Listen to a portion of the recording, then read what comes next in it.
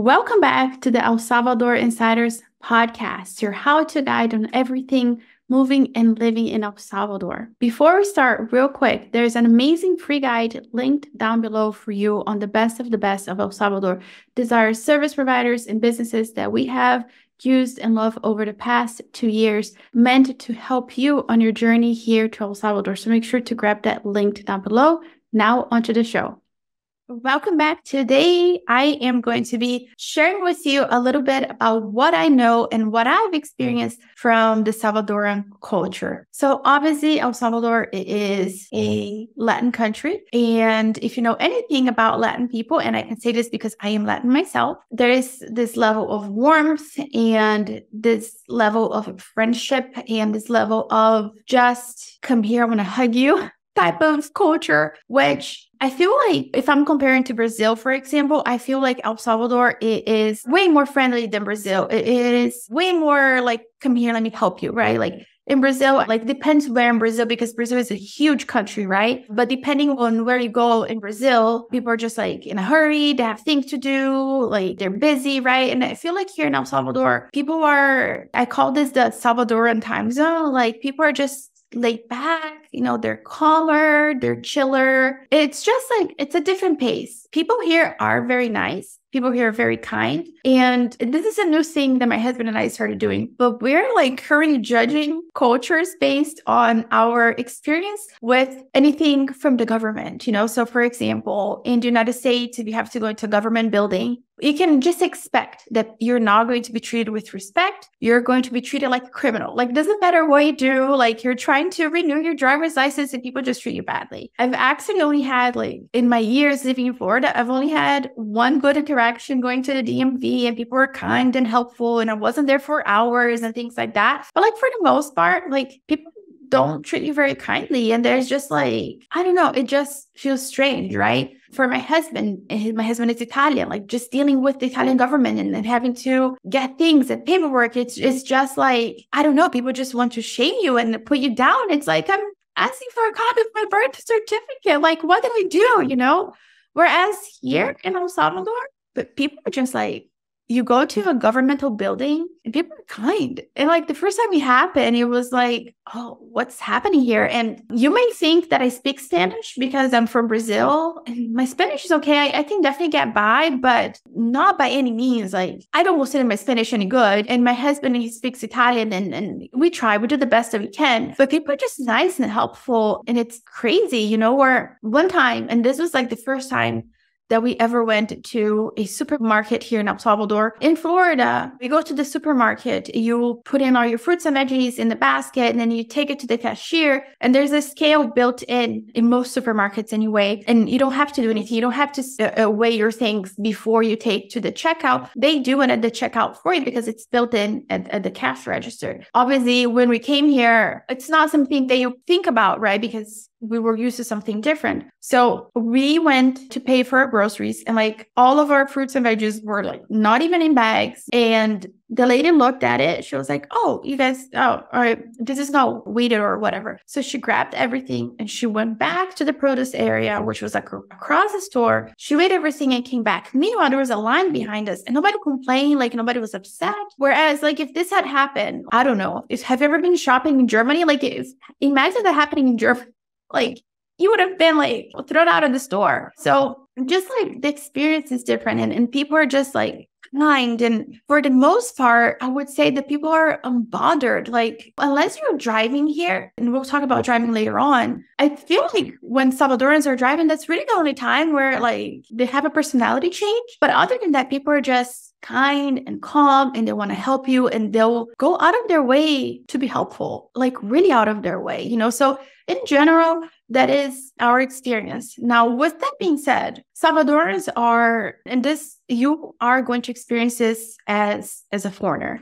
because you are a foreigner and you may not understand the culture really well and they want to help you. They will kind of like embrace you, kind of like a mother hen embraces her chicks. So it can feel overwhelming sometimes. It can feel like, oh my gosh, like what is happening here? But they're not doing it to overwhelm you. They're not doing it because they're trying to be nosy. They're really just trying to help you because they want to make sure that you are making like wise decisions, right? Because at the end of the day, while Salvadorans in general are very nice people and they're very kind people, there are bad apples, right? My husband and I have been in situations where we have been scammed out of money and things like that. And things like that happen. So it's unless you're like completely totally ingrained into the, into the culture like there are things that maybe you don't realize. So that's why salvadorans like you will make a group of salvadoran friends that will be very protective of you. And again like me coming from a latin culture even for me being from brazil it sometimes feels overwhelming but it's not bad. I don't want that to be like a turn off but definitely for coming from like a culture that is more individualistic like if we're talking like an american culture or even like german where we're mm-hmm. like you know know, it's me, myself, and I, it might feel a little bit overwhelming when everybody's trying to help you and everybody's like checking in on you and things like that. But it comes from a place of love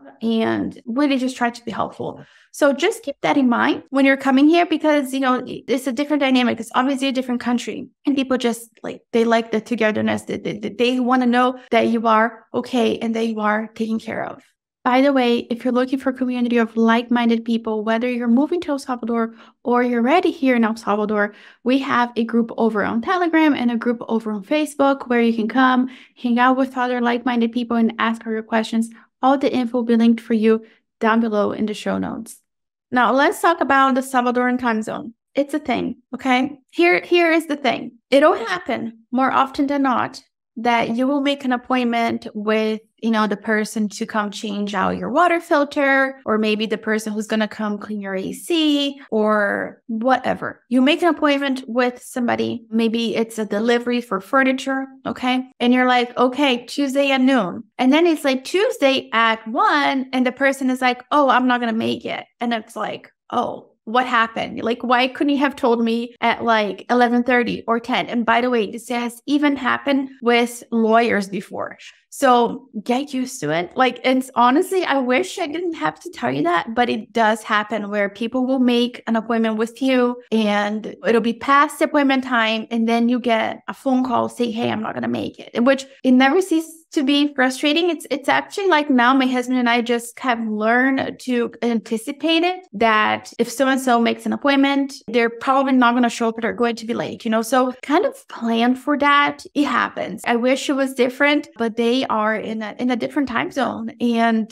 things are generally just okay. With that being said, I also want to point out that traffic can be really bad here still. There's a lot of constructions and like new highways being built, but even with that happening, of course, with construction going on, like things are slowed down. So things are still moving super slow. So people get stuck in traffic a lot. So if you have an appointment to go somewhere and you want to be on time, just make sure that you are taking traffic into consideration because even if you look on the map and you're like, oh, it'll take me 10 minutes to get there, by the time you get in the car, it's like a five minute difference and like traffic just like sprouted out of the ground, you know? So just to keep those things in mind that just learn to expect people to be late or or like stand you up. You know, unfortunately, it's a thing. And finally, speaking of traffic, let's talk about traffic. Listen, traffic here is bad. It just is what it is. Traffic here is bad, at least right now. And I know without a shadow of a doubt that it'll get better in the future. Okay. But right now, there are too many cars on the streets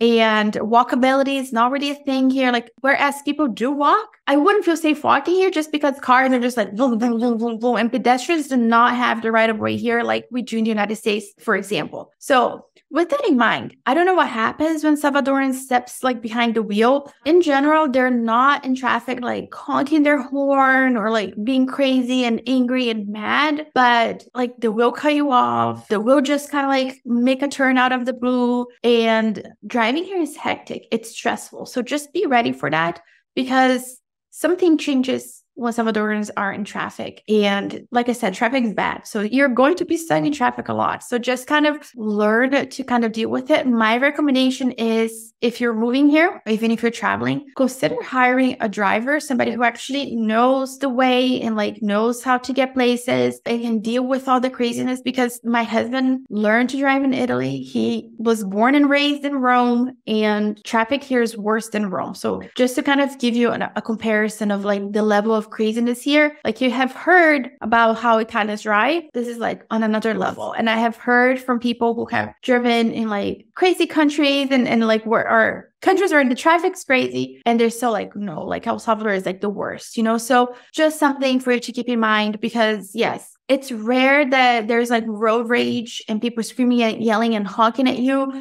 but it's like the out of nowhere people making a turn and like just cutting you and, and things like that like it does happen. It's super stressful. Another thing too and I feel like this is starting to get better. Definitely from the time that I moved here, is that there are so many stray dogs and cats, and you are going to see a lot of dogs crossing the street. And like I said, that then I feel like it's happening less and less. But something for you to keep in mind is that you know what you don't want is to be driving and like maybe driving a little bit too fast and like a dog comes and you run over a dog and it's like so ordeal, you know? So just be aware, just be mindful. And if it were up to me, like I would drive a little bit slower, a little bit calmer, but you know, it's not my country, it's not my rules. So it is what it is.